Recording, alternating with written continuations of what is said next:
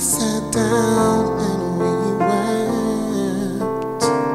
Oh, they carried us away as captives. Titled it eventually the Lord's Song. It comes out of uh, Psalms chapter 137. By the rivers of Babylon, there we sat down. Yea, we wept when we remembered Zion.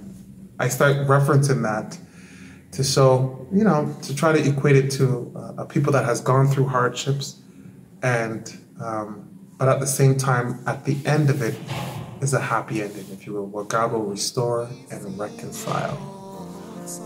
Nice.